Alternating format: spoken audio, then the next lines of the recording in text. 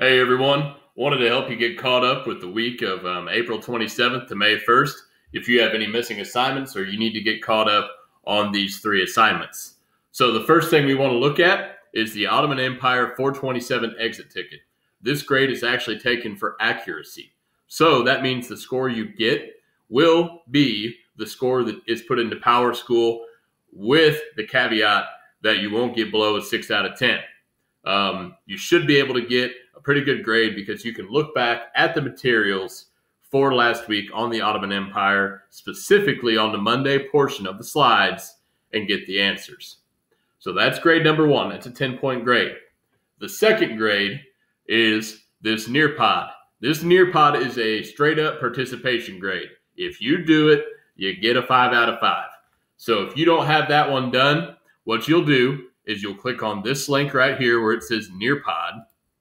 It'll take you to this screen and you'll enter the code, which is right here AQGHJ. You enter that code, make sure you put your first and last name, fill out the Nearpod. I will see it, and you'll get your five out of five points. Finally, the Quizizz. This is kind of like a quiz at the end of the week. And what we're going to do is put this code right here 491 454 and you'll copy it and then use this Quizizz link right here. It'll take you to this page. You'll type it in. Now, what the student will need to do is get a score of at least 80% or above on the Quizizz game. It's basically a review game. And they can take it as many times as they want to get that at least 8 out of 10. Again, they can have their notes or their slides or whatever pulled up on the side. I don't care. I just want them to get that 8 out of 10 just so I know that they know what they need to going forward. When they get that 8 out of 10, how they're going to turn that in, they'll see a screen that should look somewhat like this, and they'll screenshot it. On their MacBooks, how they screenshot is they hold down Command Shift and 4. Like that there. They would copy and paste it. And what they need to do is email me that screenshot with any of these assignments, and we've had a, um, students do a really tremendous job thus far um, catching up on late assignments.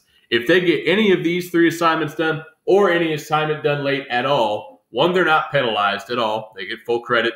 And two, they absolutely need to email me so I can get that grade in as soon as I can.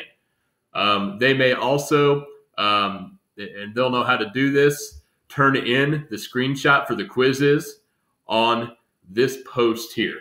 But in general, email me when you're done with the late assignments. So that means email me if you get done with the 427 exit ticket, the Nearpod, and then email me the screenshot of your 80% score or above on the Quizizz. Hope that clears up any questions. Again, feel free to reach out me if you reach out to me if you have any questions. Hope you're all staying safe and I hope none of you have come to the realization as I have that you should maybe never be your own barber. Have a great week, everybody.